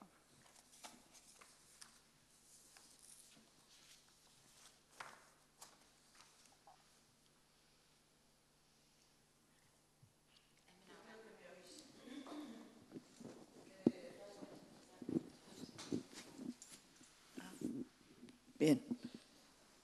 A mí estas imágenes y todo esto que habéis puesto y lo que habéis contado lo que hace es revivir lo que uno lleva dentro todos los días y para eso no, no sé si sabemos, me imagino que sí, aunque sea en teoría, que también en nuestra pequeñísima ciudad tenemos estas situaciones. Por el color se piden los papeles a la chica que me acompaña a mí porque es morena y cuando yo enseño mi DNI me dicen, no, usted no, es que esto es un control rutinario. No sé qué es eso. Me pregunto si sabemos que en nuestros montes turísticos, Urgul, Ulía, hay mucha gente que se refugia con esta humedad que vivimos. Y si sabemos cómo se meten en un pequeñísimo piso, 12 o 15 personas viviendo como se pueda. Y me pregunto casi todos los días dónde están los 17.000 refugiados desplazados y los 300 que iban a venir a Guipúzcoa. Ya sé que me vais a decir, pues eso, allí yo he estado en los CETIS de Ceuta, de Tarifa, de Algeciras, y es una soberana vergüenza humana. Las, eh, esas fronteras invisibles que decía Olmo, se lo he oído contar a otros y concretamente a un fotógrafo en Madrid, de lo de Madrid, pero es que aquí lo tenemos en la calle Inchaurrondo, esquina o esquinas, con el reloj de Ategorrieta. Solamente porque son morenos o negros.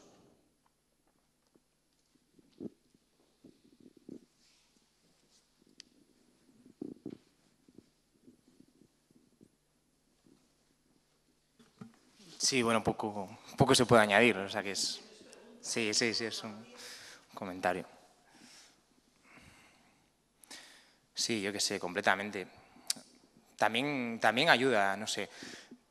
De todas maneras, hay, mucha gente, yo creo que también está haciendo pequeñas acciones. Yo soy de Cantabria y yo qué sé, ahí en mi pueblo, en Torlavega, de repente hay organizaciones a nivel local que hacen cosas ¿no? para, para concienciar. Hace, hace poco, en verano creo que fue, hicieron, se montaron ahí un, un, muro, hicieron un checkpoint y un control de fronteras en una calle peatonal más céntrica. Y luego hicieron en la plaza, en una plaza de, la, parece que era la Plaza Mayor o la del Ayuntamiento, pues como si hubieran caído unos cuantos misiles con coches destruidos y escombros por todos lados, para un poco llevar, ¿no? Y, bueno, que son acciones que pueden parecer una tontería, pero que de repente pues, te hacen ¿no? pensar. Charlas como esta o pequeñas, pequeñas acciones, intervenciones, que, que estén en el debate, ¿no? que de repente haya otras cosas ¿no? en, en, el día a día que nos ha... Por supuesto que los problemas de, de cada lugar son los problemas de cada lugar y son súper importantes, ¿no? pero luego hay algo que está un poco más allá, me parece, que, tendría que estar también en el, debate cotidiano ¿no? y que muchas veces pues, bueno, pues se vio con el tema de los refugiados. ¿Cuántas páginas se han escrito y cuánto se ha hablado? ¿no? Por ejemplo, de Ailán. Hay fervores, perdón, eh, defensores eh, que defienden de una manera absoluta que eso no sirvió para nada, eh, el que se publicara la foto de Ailán, el niño muerto en las orillas de Turquía, en las playas de Turquía, y otra gente que defendemos que sí. ¿no? Eh, es cierto que eso supuso un antes y un después en la ruta de los Balcanes y en, en las llegadas ¿no? a Lesbos, por lo menos en cuanto a la ciudadanía. ¿no? no sé, se puede ver como se pueden hacer diferentes análisis. A mí me gusta hacer un análisis optimista ¿no? y de repente mencionar la foto de Ailán y decir que, bueno, a nivel cotidiano yo tengo gente cercana que empezó a colaborar de diferentes maneras gracias a esa imagen. Si haces un análisis un poco más pesimista y dices, bueno, ¿de qué sirvió a grandes rasgos? Bueno, yo creo que nada de lo que hacemos sirve de una manera inmediata. Cada uno pues vamos haciendo lo que podemos, lo que está al alcance de nuestra mano. Algunos con su profesión, otros con su militancia, otros con su día a día, o bueno, o lo que a uno le, le llene o le salga, ¿no?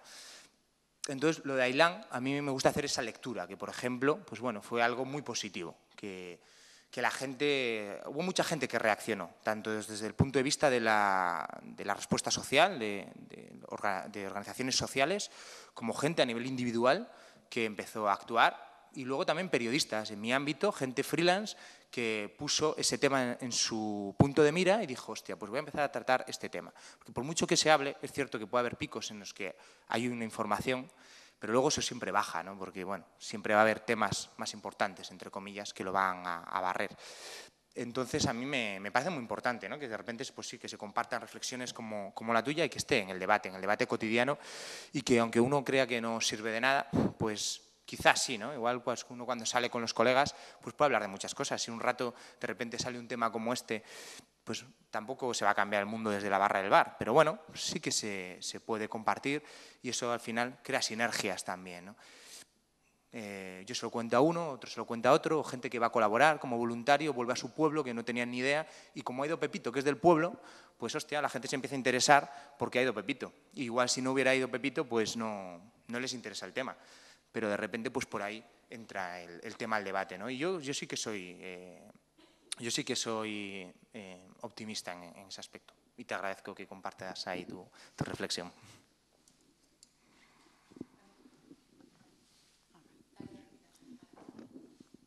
No, a mí simplemente, a mí lo que me llama siempre mucho la atención es que no hay mucha conciencia de que un refugiado tiene unos derechos. Quiero decir que es que no es caridad, que es que son los derechos que nos benefician a todos. Y a mí me sorprende, y eso que aquí en Euskadi estáis muchísimo más concienciados ¿eh? que en muchísimas otras comunidades. La gente dice, a mí me han llegado a preguntar, ¿pero tú los traerías o no los traerías? Y yo, pero si es que yo no tengo que traer a nadie, si es que hay una convención que hemos firmado todos, son, a ellos les pertenecen estos derechos y está, o sea, es unas convenciones que hemos creado para beneficiarnos todos de si hay una guerra, hay otros países que te van a proteger. Nadie entiende este concepto y eso es a mí lo que me sorprende. Hay poca concienciación y, y no, no, se acaba de entender que son los derechos y nos benefician a todos. Ya está.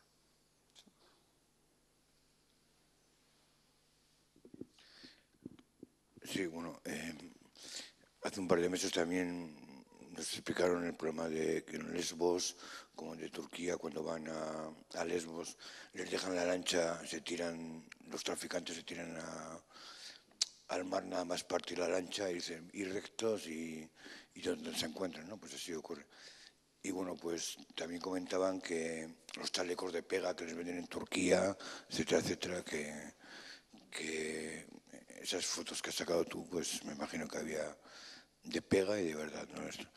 Pero hace tiempo que no he oído hablar nada sobre los emigrantes que, llegan a, Italia, a esa isla de Italia que, que, también está ocurriendo, pues me imagino que no lo de, lo de Lesbos, pero ¿qué conocimiento tenéis de lo de Italia?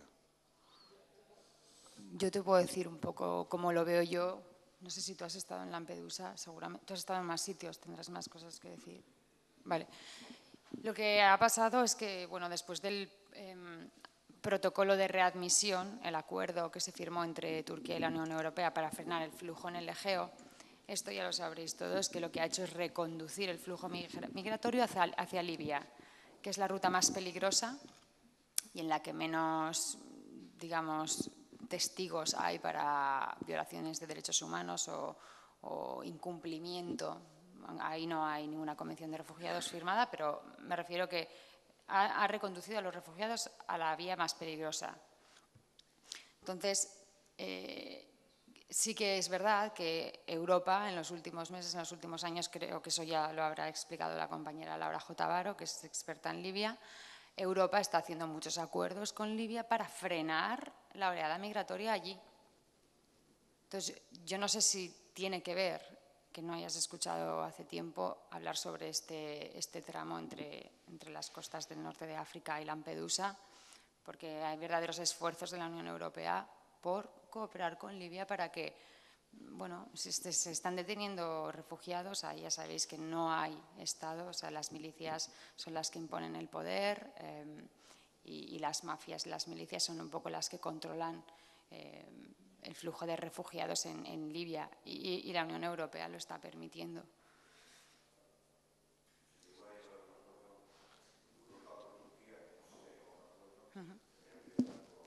Con Libia, sí, por supuesto. esta es la nueva fase.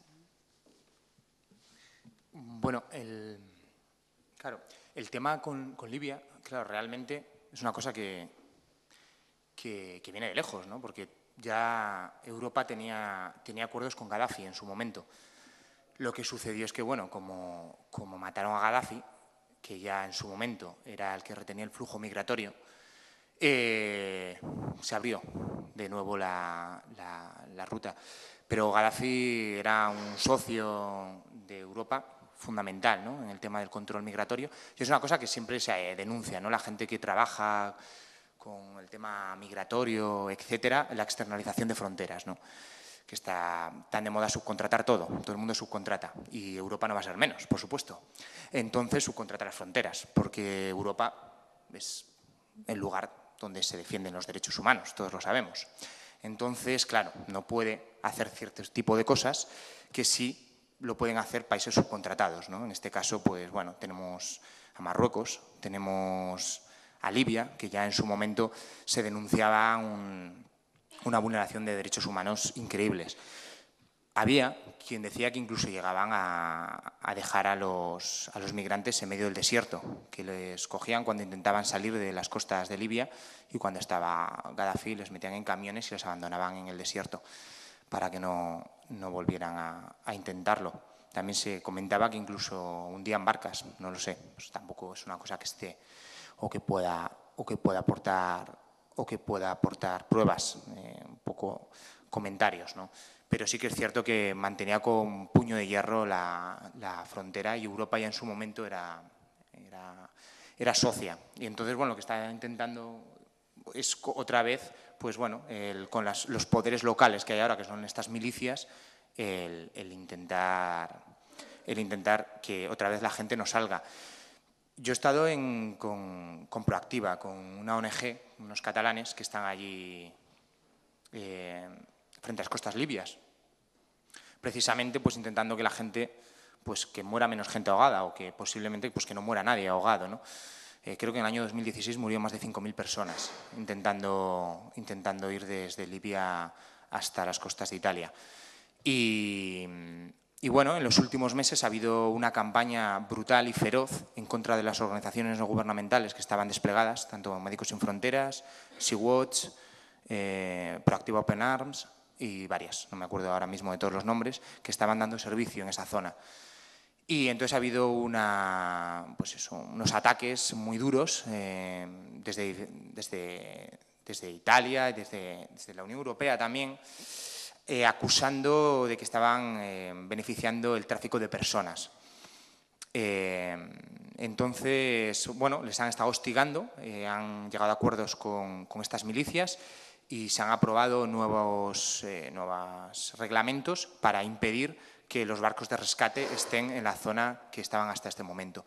Pues en los dos últimos años han salvado miles y miles de vidas de gente que hubiera muerto ahogada intentando hacer ese trayecto y a día de hoy la mayoría han tenido que abandonar eh, esas aguas precisamente por esas presiones eh, que se han hecho desde, desde Europa y bueno, luego también desde, desde Libia. Han llegado incluso a disparar con fuego real al aire para amedrentar a los barcos de, rescate de las organizaciones no gubernamentales.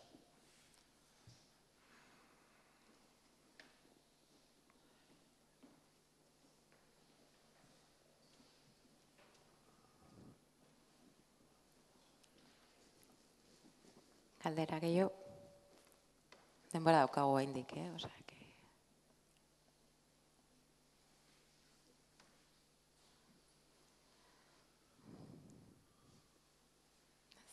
¿Queréis decir algo más? Seguro que se os han quedado un montón de cosas también pendientes, pero... Hola, eh, gracias a los dos. Eh, a mí no me queda claro, me gustaría un poco a ver si me pudierais aclarar eh, qué sucede con esa gente que lleva, que llega a, que quiere pasar la, la, muga de Hungría, que se encuentra con ese muro, que se encuentra sin viaje, sin futuro, se quedan ahí retenidos, retenidos hasta cuándo, la gente sigue llegando. no me queda muy claro qué sucede con, con esa gente que, que se queda en el camino y que vive y, y dónde están ahora y cuál es el, futuro que, les espera.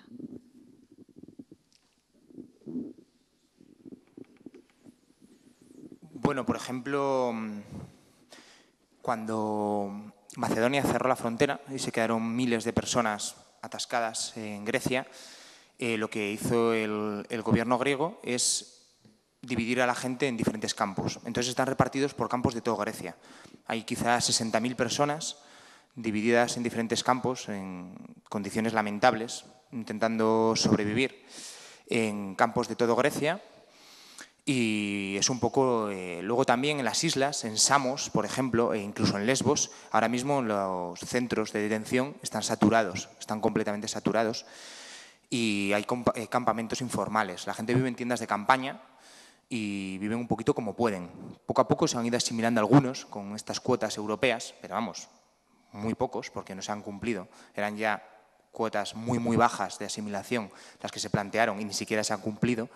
Entonces alguno se ha podido recolocar, pero la mayoría pues continúa un poco como estaba. En, Grecia están en los, en los campos eh, sobreviviendo y gracias eso a, a las ayudas de las organizaciones no gubernamentales y también imagino que ahora mismo sí que el, gobierno griego esté, ayudando, que es también una cosa a destacar, ¿no? Cómo Grecia en ese año se vio sola, ¿no? Y cómo al final la abandonó Europa, ¿no? Es una cosa increíble, ¿no? Tanto con la crisis económica como con toda la presión migratoria que recibió, se cerró la frontera y, la abandonaron, ¿no? Un país quizá de los más económicamente más débiles de Europa en ese momento, la dejaron con más de 50.000 personas a su cargo sin apenas ayudas y con, toda la crisis económica que, tenía a las espaldas. Entonces, la situación que, que, hay ahora mismo y con la gente, el goteo que va llegando, es un poco ese, ¿no? Eh, de bloqueo en las islas y después de, la gente repartida en diferentes campos pues por, por todo el país. Sí, yo de lo que ha dicho Olmo me parece importante destacar el esfuerzo que han hecho los países frontera eh, por ejemplo, el acuerdo, el protocolo de readmisión que se firmó entre la Unión Europea y Turquía para frenar el flujo del Egeo en, marzo del 2016, en realidad es un acuerdo entre Turquía y Grecia. O sea, es Grecia la que ha hecho todos los esfuerzos o, la que ha intentado cumplir ese acuerdo, porque el resto de la Unión Europea no ha readmitido los, no ha cumplido eh, las readmisiones que tenía que llevar a cabo. Entonces, quizá otra de las soluciones que se pueden plantear y se han planteado muchas veces es la creación de una política de inmigración comunitaria en la que se repartan las responsabilidades, se repartan los esfuerzos y no sean los países fronteras, sobre todo Italia y Grecia, los que tengan que asumir las operaciones de rescate, los que tienen que al final encargarse de los centros de, de registro, los que han al final, bueno, también han han puesto en práctica de una manera muy salvaje todo el, acuerdo entre Turquía y la Unión Europea porque parte de esos centros ahora son centros de detención. Lo, que antes eran centros de registro ahora son centros de detención. Lo que decía, tu pregunta que era, ¿qué pasa con esa gente? La gente que se queda en mitad del camino se tiene que registrar en el país en el que se ha quedado y tiene que solicitar asilo allí. Por ejemplo, pues los de Idomeni, me imagino que se registrarían en Grecia y ya tienen entonces, de nuevo, Grecia tiene que lidiar con este problema, con todos los miles de personas, cuando Europa no está respondiendo, cuando no están llevando a cabo las, readmisiones. Entonces, eh, una política comunitaria se ha planteado mil veces eh, en, la que haya una, pues eso, unas soluciones y unas responsabilidades comunes, quizás sería uno de los, lo que podría resolver lo que al final se ha convertido en un problema entre los estados de la Unión Europea.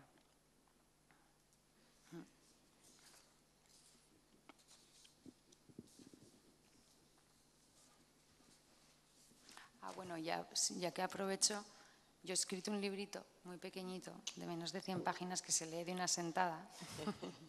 es muy baratito también. Y es eh, un enfoque puramente personal. O sea, son tres capítulos, tres refugiados, tres miradas totalmente diferentes al problema migratorio. Uno es la historia que os he contado antes, la historia de Sana, con una mirada hacia el futuro. El segundo es una mirada hacia el pasado, son esos refugiados que se quedan en la frontera de Siria y que no pueden olvidar la guerra, que el pasado es su, razón, razón, de ser. Son esos refugiados, pues los humanitarios, los activistas, los periodistas que no pueden olvidar la guerra. Y el tercer capítulo es una mirada al presente. Son todos aquellos que han sacado beneficio de este, de este desastre. Es el testimonio de un traficante de refugiados. Y mm, se llama Refugiados y es de la Huerta Grande. Ya está, a.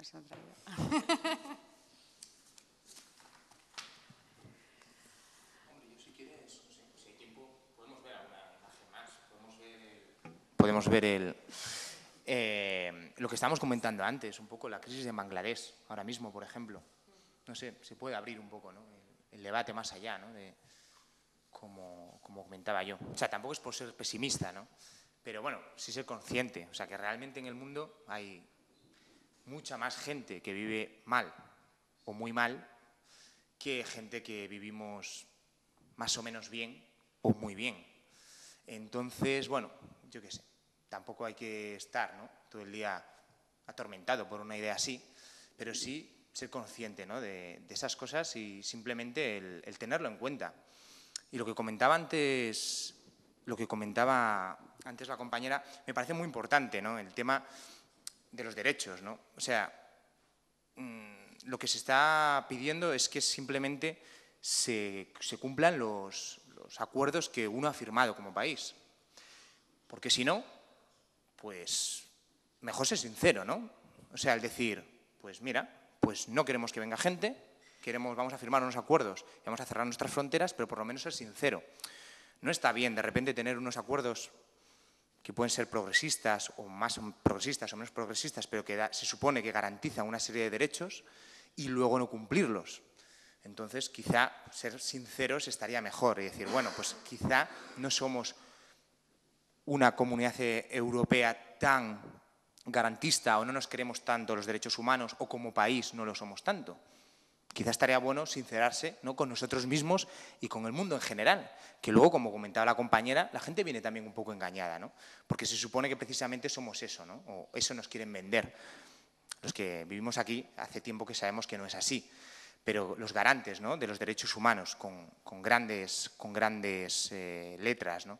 Entonces, a mí me parece que sí que es importante ¿no? el, hacer referencia a lo que decía ella, que son derechos, que es una cosa que nadie está reclamando caridad ni que se haga un favor a nadie, sino simplemente el que se cumplan una serie de, de, acuerdos que se han firmado y que hemos asumido como país, que hemos asumido como Unión Europea y como conformantes ¿no? de, la sociedad. Entonces, eso estaría, estaría bien, ¿no? El, no ser tan, hipócritas y vivir con, con nuestras contradicciones, por lo menos eh, seríamos un poquito más sinceros. Si se puede conectar el, tema de mi ordenador, por ahí podemos ver algunas, algunas imágenes. Yo acabo de llegar de Bangladesh, de, y ahí, por ejemplo, pues por poner una, otra, otra cosa ¿no? que pasa en el mundo que quizá pues tampoco nos enteramos tanto. Y de repente pues nos encontramos que hay... Sí, hoy va, no, maldición, lo he abierto con Photoshop. Bueno, eh, nos encontramos que en Bangladesh, pues de repente han llegado en un mes medio millón de personas que están huyendo de una limpieza étnica que se da en Myanmar, en Birmania, ¿no? Y cómo, pues bueno, eh, les están persiguiendo, es una minoría musulmana, les persigue un país mayoritariamente budista y han muerto mucha gente, les han incendiado cientos de aldeas y les han incendiado cientos de aldeas y, y bueno, han llegado a un país que es el cuarto país del mundo en densidad poblacional, son 168 millones de personas en un territorio bastante pequeño, que es un país pobre, pero muy, muy pobre, que además recibe en un mes medio millón de personas, más de medio millón de personas, que buscan refugio. Pero además es que no es la primera oleada, es que hace dos años recibieron una parecida y hace otros cuatro o algo así recibieron otra, ¿no? Por los mismos motivos. Entonces, pues bueno, poner la lupa en otra parte del mundo, ¿no? Donde están pasando cosas, ¿no? Eh, donde gente tiene que huir, ¿no? De matanzas, de, limpieza, de limpiezas étnicas y, pues bueno, que hay que dar una respuesta internacional. Por ahí iba, ¿no? También diciendo que, bueno, hay más gente ¿no? en, este, en este planeta que vive mal de los que vivimos más o menos bien, ¿no? Entonces, simplemente, pues bueno, ser consciente, ¿no? De que están pasando cosas en, muchas partes del mundo, ¿no? Que, pues que requieren una atención. Y si no somos capaces ni siquiera de hacer cumplir los acuerdos que hemos firmado en nuestros propios países, pues, pues ¿qué podemos esperar? ¿no? Que pase con la gente en, lugares ¿no? lejanos y remotos ¿no? para, para, nosotros, como puede ser Bangladesh, por ejemplo. Bangladesh porque acabo de estar, podría ser otro lugar en el mundo perfectamente, que los hay a patadas. ¿no? Entonces, bueno. Estos son colas de, para poder comer, simplemente. Eh, un reparto de comida al día que lo organiza el ejército y, y bueno. Aquí se pueden ver un poquito la magnitud de,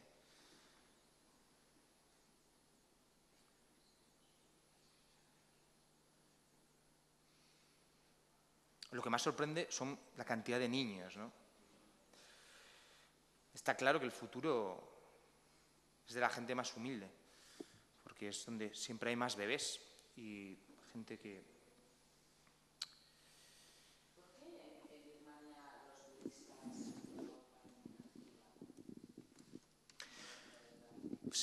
la verdad que es un tema complejo, es un tema complejo que viene de hace tiempo. Eh, a la población rohingya no la consideran eh, legal, les consideran eh, inmigrantes ilegales y hace, lo que pasa es que están hace generaciones ya. Y están desde hace generaciones allí y lo que pasa es que nunca las reconocen. Ellos dicen que ocupan tierras y que bueno, se están quedando con espacios. ¿no? Y esta población pues, lo único que hace es, pues, son campesinos tienen aldeas, tienen animales e intentan sobrevivir y vivir.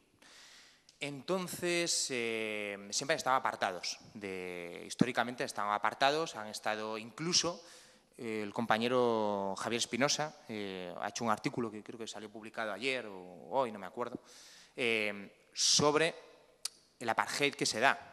Eh, lo mismo que se da en territorios palestinos, eh, algo similar es lo que él denuncia, que sucede allí. Cuando hay eh, aldeas de la población rohingya, lo que hacen es que hacen asentamientos budistas al lado para presionarles, les quitan las tierras, les roban los animales y les presionan para que expulsarles del, país. Entonces, hay un grupo armado que ha surgido, poco oscuro, la procedencia, que dice ser el defensor de esta población, de esta minoría. Si tú hablas con ellos, hay mucha gente que ni lo sabe, ni les defiende, ni quiere que les defiendan. Lo mismo, en base a cosas publicadas, tienen una procedencia un poco extraña.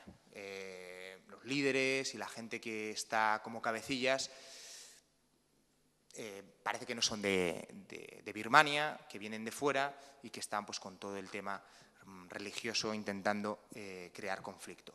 ¿Qué sucede? Que hicieron unos ataques a puestos de la policía birmana y mataron a varios policías y, y bueno, esa fue la excusa perfecta para empezar pues, con este movimiento de represión, de quema de aldeas que ha provocado hasta ahora más de medio millón en esta última oleada más de medio millón de, de personas ¿no? que han tenido que huir eh, cruzando el río y por tierra pues para poder, para poder salvar la vida, básicamente. ¿no?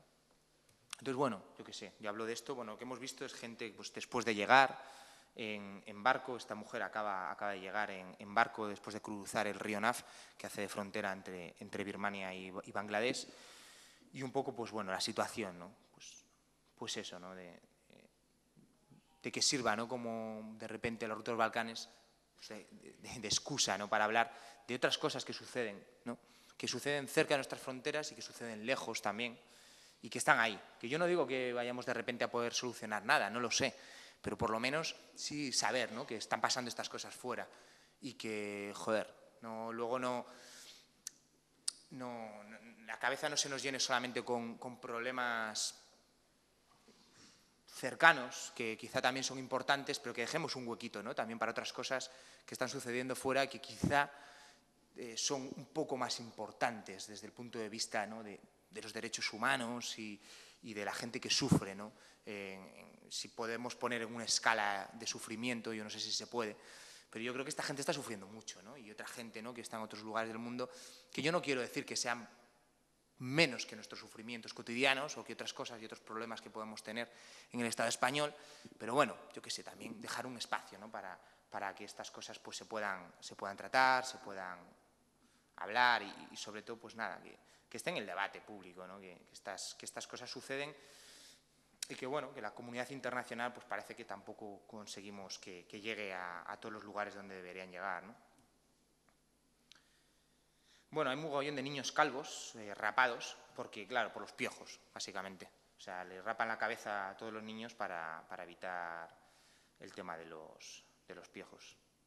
Bueno, es una selección, la verdad, que bastante a lo bruto, pero bueno, podemos ver así imágenes variopintas, algunas se parecen mucho. Pero bueno, estos son los, las lomas, por ejemplo, que ellos llegan y como no tienen dónde estar, pues lo que hacen es que las deforestan cortan todos los árboles y toda la maleza que hay y construyen pues, bueno, las, las chozas donde, donde vivir y que es un problema muy grave, porque en cuanto empiecen lluvias fuertes otra vez, eso se va a desmoronar todo, porque es una tierra que con, en cuanto cae un poquito de lluvia se convierte en barro completamente, ¿no? y sin las raíces de, de, de los árboles y de los arbustos para retener aquello, eso puede ser terrible. Pero bueno, que sirva pues bueno como ventanita ¿no? al, para ver otras, otras realidades. Por suerte no está muriendo mucha gente ahogada, aunque sí que ha habido algunos muertos cruzando, cruzando el río y algunos que se les llevó la corriente y acabaron en el mar y al final pues murieron ahogados eh, y los cadáveres llegaron a, las orillas. Pero bueno, ahí vemos un poquito pues como